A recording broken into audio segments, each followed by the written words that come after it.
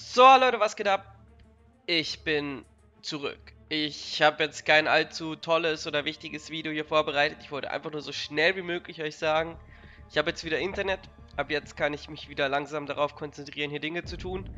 Ich muss natürlich noch ein, zwei andere Dinge tun, die auch für mein Privatleben wichtig sind, weil ich jetzt wieder Internet habe. Also es werden jetzt nicht nur noch Videos rausgeballert, aber ab jetzt kommen wieder Videos von mir. Und ich dachte kurz, um das Ganze wieder zu starten und die lange Pause ein äh, bisschen wieder gut zu machen, machen wir ein 5 Sterne Technologie-Kristall auf. Gestern gab es dieses Angebot.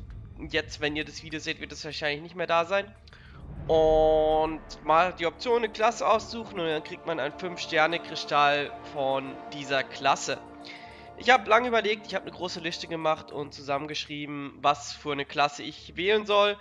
In der Endrubrik waren äh, Mystik und Technologie. Wieso? Die beiden Klassen haben die geringste Wahrscheinlichkeit darauf, dass man was Schlechtes zieht. Das heißt nicht, es gibt nichts Schlechtes, aber einfach nur die Wahrscheinlichkeit, dass ich da drin was Schlechtes kriege, ist viel geringer als in den anderen Klassen.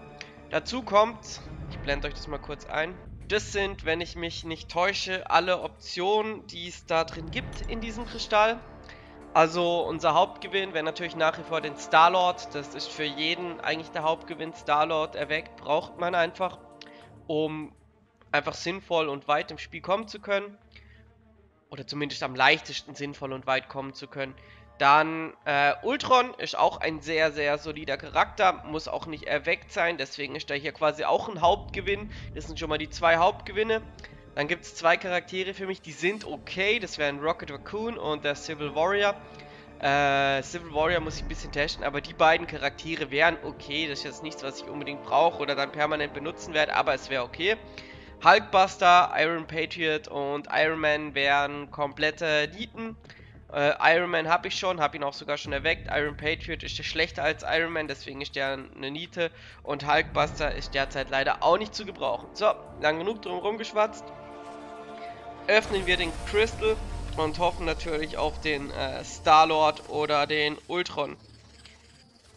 Also hier beim Durchspinnen sieht es nicht aus, als hätte ich was vergessen. Ich bin mir eigentlich auch ziemlich sicher, dass ich nichts vergessen habe. Ich lasse ihn ausspinnen und dann schauen wir mal, auf was er stehen bleibt. Wahrscheinlich wird es der Iron Patriot. Civil Warrior. Okay, wie gesagt, der ist nicht der Hauptgewinn, aber er ist, glaube ich, ganz lustig. Ich, ich bin gespannt. Ich werde ihn auf jeden Fall ein bisschen spielen, ein bisschen Spaß mit ihm haben. Äh, schauen wir ihn uns an. Ich denke, ich werde ihn vielleicht auch in die Defense stellen. Zu, zu den Defense und den Allianzkriegen. Da gibt es eh ganz viel, was ich euch natürlich zeigen müsste, ne?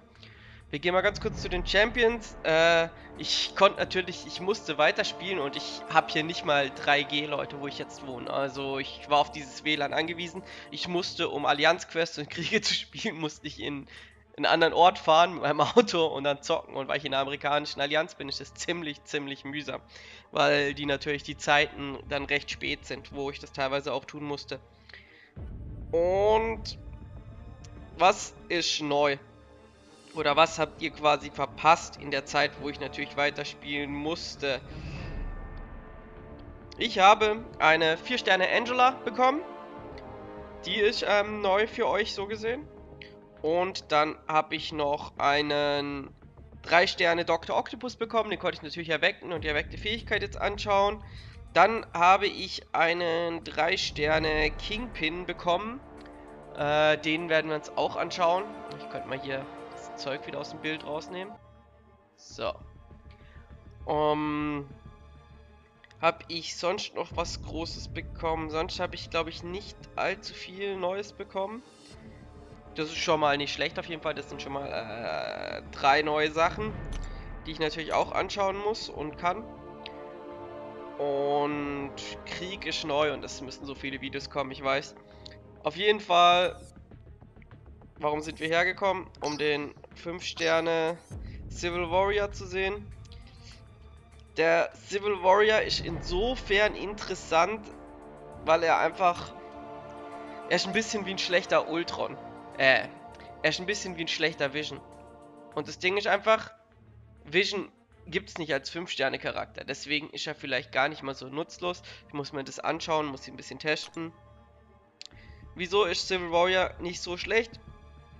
Äh, schwere Angriffe haben hundertprozentige Chance, eine Heilblockade auszulösen. Das wusste ich schon gar nicht mehr, dass er das kann.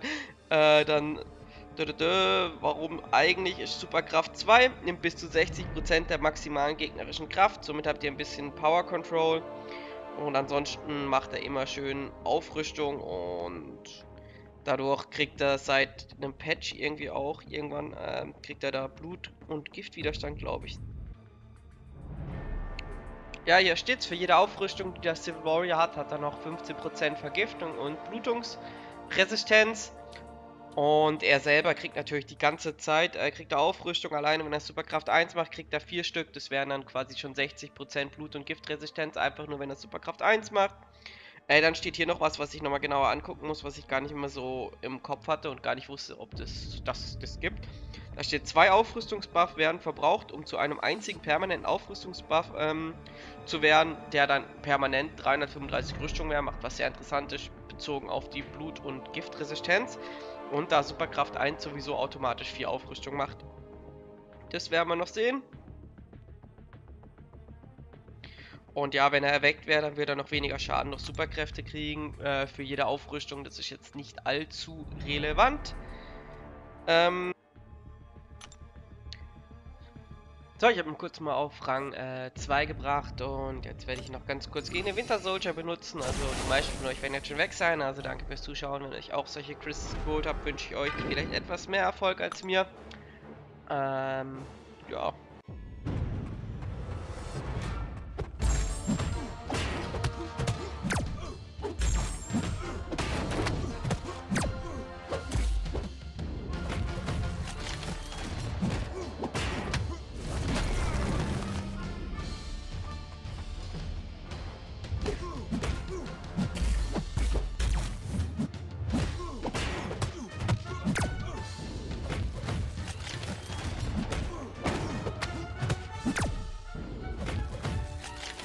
Persönlich finde, der Civil Warrior sieht einfach ultra cool aus.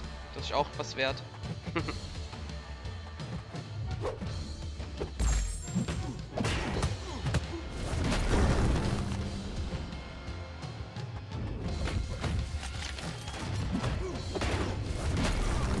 so, jetzt habe ich diese permanente Aufrüstung mal versucht hinzubekommen. Scheint zu funktionieren. Interessant.